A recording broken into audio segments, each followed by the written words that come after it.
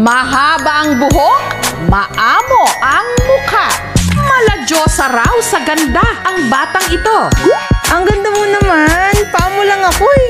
Ganda ni baby girl. Sana all maganda.